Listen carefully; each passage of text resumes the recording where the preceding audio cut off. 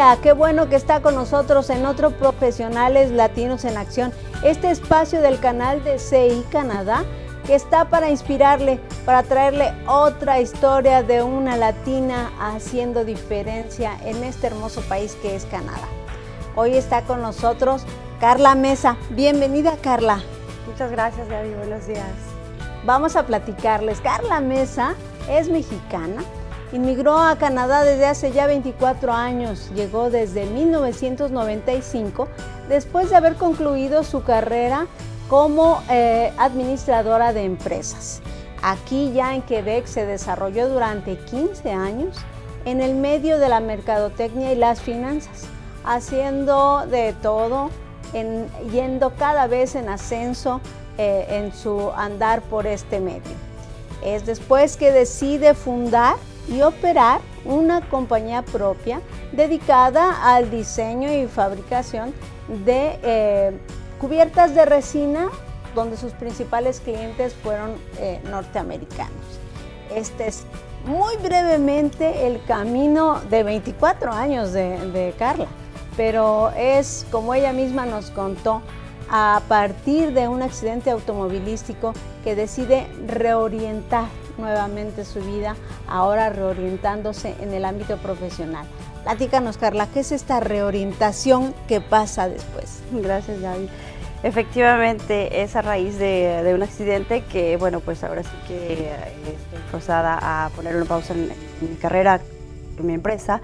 Y eh, pues a mí el periodismo es algo que siempre me, me, llamó la atención. Desde muy joven siempre quise ser periodista, eh, estudiar en comunicaciones eh, me gustaba, de hecho, eh, de igual manera como los, los, negocios, las finanzas.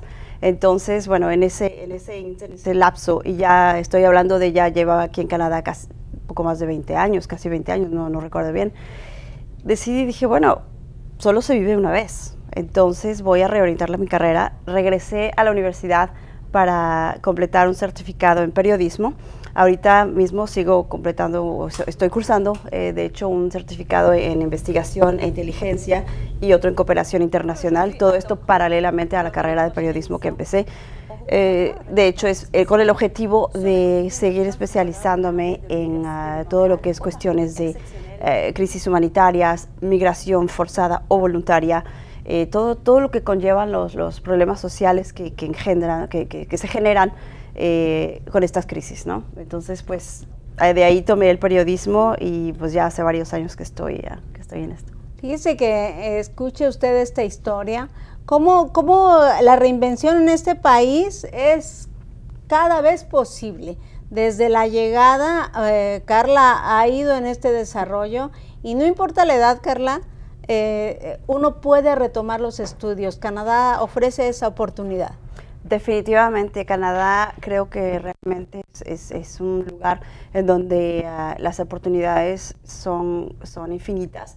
Eh, si uno tiene realmente la voluntad y las ganas de salir adelante, ¿no? es, eh, lamentablemente en nuestros países, en Latinoamérica en general, eh, uno puede tener ambiciones, puede tener ganas de hacer cosas, puede incluso tener los medios para hacerlo financieramente, pero es muy difícil, es muy difícil. Yo, yo veo realmente familia, amigos que no, no, no, no salen adelante a pesar de, del trabajo, trabajo extremo ¿no? que hacen. De la capacidad. y de la capacidad. No, de todas estas cosas. En cambio, aquí en Canadá realmente las puertas se abren, eh, pues como te digo, no fácilmente, sino fácilmente cuando tú tienes realmente la voluntad y, el, y haces el esfuerzo de, de, hacerlo, porque no es fácil, no es fácil para nadie ni, en ninguna circunstancia, pero sí, definitivamente eh, la edad no es una, no es una barrera. Eh, de hecho, yo cambié de carrera eh, más o menos a los 40 años, entonces, digo yo, te queda, ya llevas mucha carrera, pero te queda muchísima vida por delante, así que para mí era como nuevo empezar y me siento realmente, yo me sentía como una adolescente en la universidad, de hecho aún y este, me encanta, o sea, como que me rejuveneció el, el realmente reorientar mi carrera y regresar a los estudios fue para mí una bendición. Eso pasa después de 23 años de haber concluido la primera carrera y pasa aquí en Canadá. Eh, me gustaría que nos hablaras un poquito, porque quien nos está escuchando, hay que eh, siempre recordarles la importancia del idioma, porque ahora que te escucho es, bueno, llegas y te desarrollas 15 años en un, en, un medio y después formas una empresa. ¿Tú ya venías con un idioma, ya, ya manejabas, tú fuiste perfeccionando? Definitivamente eh, lo he perfeccionado. Eh, para empezar, ¿no? Vamos a llegar a 1995 yo eh, estudiando en el Tecno Monterrey, pues ya tenía una muy, muy buena base, base de inglés. Ah, realmente llegué aquí a Canadá hablando bastante bien el inglés, pero no puedo decir que a un nivel eh, profesional como ahora, ¿no? De hecho, fue el idioma el que me trajo aquí. Es decir, que yo acabando mi carrera, es decir, realmente mi diploma recién eh, entregado, quise venir acá a Canadá unos meses únicamente para poder practicar mi inglés. A perfeccionar el inglés. A perfeccionar el inglés, exacto, simplemente como, como en calidad, digamos, de estudiante por, y simplemente por unos meses. Mi intención no era realmente uh, emigrar a Canadá. Entonces, uh, bueno, ya estando aquí, descubro, bueno, especialmente en Montreal, descubro que, bueno, pues sí se habla inglés en ciertas zonas, pero más bien es, un, es una provincia francesa, una ciudad francesa. Entonces, eh, decidí, bueno, ¿por qué no aprender francés? A mí me encantan los idiomas. Y bueno, ahora, eh, y bueno, fue como todo un, camino que seguí en cuanto al idioma el profesional, etcétera. Te, va llevando, la vida, la vida misma te va llevando, te va llevando. Aprendí el francés, mi inglés pues evidentemente lo, lo seguí mejorando. Y ahora pues hablo italiano, hablo francés, hablo español, hablo un poco de portugués, eh, ah, inglés. ahí es donde quería llegar, a que vea usted cómo este país y esta, este ambiente de, de inmigración nos hace políglotas a veces, nos hace multiculturales, venga usted, eh, eh, tiene usted esa oportunidad. Pero ahora, actualmente, Carla está dedicada también a hacer documentales y ahí es donde queremos su opinión. Ella está en el proceso de la realización de un documental sobre los trabajadores agrícolas temporales que vienen a este país. Queremos que Carla nos comparta todo este andar qué está pasando con este, con este trabajo periodístico, documental, y sobre todo, tal vez usted no está escuchando y está pensando en la inmigración eh, en este tipo de programa de trabajador agrícola. Eh, ¿Qué está pasando? Hay una muy buena posibilidad, Carla, de venir a este país como tal. Sí, bueno, es exactamente. En cuestión de periodismo, ahorita yo lo que, lo que estoy haciendo es enfocándome realmente en la producción de, reportajes, video reportajes y ah, desde hace un año en documentales. Eh, realmente es algo que me apasiona porque eh, la gente, es, es, la persona, la gente, el humano, el que está en el centro de, de, de, pues de este trabajo, ¿no? Entonces, ahorita precisamente estoy empezando a realizar un documental y varios reportajes con el tema efectivamente de los trabajadores agrícolas que vienen específicamente de Guatemala y de México. De hecho, en unas semanas voy para allá porque el documental lo quiero hacer de una manera um, tiene un enfoque, de hecho, de, no en el trabajo mismo que hacen ellos aquí en Canadá, ¿no? sino la, transición que hay entre el país de origen y este país eh, a donde ellos vienen a trabajar. Y su trabajo es muy duro, no vienen de vacaciones, no vienen a pasear, ellos trabajan seis, a veces siete días a la semana, muchísimas horas por día.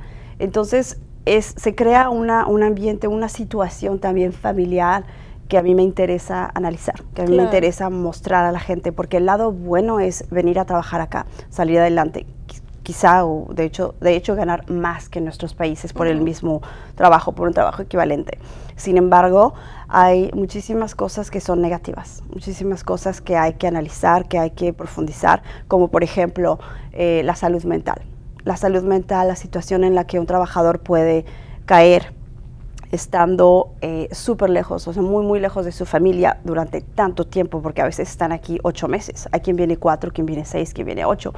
De hecho, hay programas en los que los guatemaltecos vienen dos años y sí tienen dos semanas o tres semanas por año para poder ir a ver a su familia, pero igual están separados. Para ellos es muy duro porque cuando te separas de tu familia un año, pero vienes a desarrollarte, sales, conoces gente, tienes una vida social, es diferente. Pero cuando estás un año separado de tu familia u ocho meses, pero estás en el campo simplemente con tus colegas, viviendo en, condiciones que son aceptables, pero sin más. Eh, sin salir mucho, más que los domingos cuando te lleva el autobús. Los lleva el autobús a hacer sus compras a todos juntos. Al banco. Al banco. ahora sí que las necesidades básicas, ¿no? Una vez por semana pueden salir todos juntos. Es, y aparte es un trabajo que es rural entonces ellos no tienen medio de, moverse por ellos mismos, salvo ciertas excepciones. No he conocido a algunas gentes muy excepcionales que sí lo han logrado y bueno, ahora sí todo con ganas. Yo creo que es importante esta, esta parte del proceso, pero a usted que nos está oyendo, queremos eh, compartirle que puede venir y para, para justamente amortiguar este impacto, hay que hacerlo en legalidad, hay que hacerlo bien orientados, hay que, eso es importante, ¿no? ¿Qué has encontrado respecto a, esta cuestión de, orientarse con alguien que, que, les dé información y les enseñe el buen camino? Definitivamente es, es, algo que se tiene que hacer por el buen camino, como, como dices tú. Ah, existen programas, no tengo todos los detalles, no soy especialista en programas de, ah, trabajo especializado, trabajo agrícola, pero definitivamente existen programas y ah, creo que es la Secretaría de Relaciones Exteriores la que, la que lleva, es responsable de, digamos, de, organizar este, estos contratos. Entonces todo se hace a través de México, desde México o Guatemala en este caso y ellos son escogidos. De hecho, hay un proceso, me decían, me, platicaban los muchachos, que hay un proceso eh, particularmente para poder eh, ser elegido eh, y venir aquí a, trabajar. No, no cualquier persona puede nada más inscribirse y ya por eso ya puede venir. Tienen hay que ser trabajadores agrícolas, eso hay que decirlo. La gente que nos ve en Guatemala y en México tienen que ser efectivamente trabajadores agrícolas y cada uno de los gobiernos se encarga de dar esta certificación de que efectivamente usted se dedica. No basta decir, sí, yo quiero ir allá a, la pizca, ¿no? que le decimos, ¿no? que eso sí pasa en Estados Unidos, por ejemplo, la gente puede ir a hacerlo, pero para que usted venga, eh, siempre le hemos eh, eh, invitado en este canal hacer las cuestiones, eh, los procesos migratorios de forma correcta, ordenada, para que usted al llegar pueda tener todos los beneficios que ofrece este país, ¿no? De hecho, sí, es muy importante para poder tener los beneficios, pero sobre todo para estar protegidos, para estar protegidos, porque eso es algo con lo que me he encontrado, eh, ya sea con los trabajadores agrícolas o con otro tipo de trabajadores que he encontrado, digamos, urbanos, en, en otras áreas, eh, como la construcción, etcétera. La gente viene aquí de a veces pensando que, es fácil encontrar el trabajo, eh, digamos, sin papeles, digámoslo. Eh, y bueno, es acto ilegal. y, no, no es fácil. Y aún si lo encuentran, pues corren muchísimo riesgo porque yo tengo casos reales que me han sido em, transmitidos de explotación, es decir, trabaja la gente y no les pagan y la gente no tiene ningún recurso para, para digamos, ir a cobrar su dinero o para, o para seguir a esa persona. A veces hasta son personas que son, eh, tienen perfiles en, los, los, medios sociales.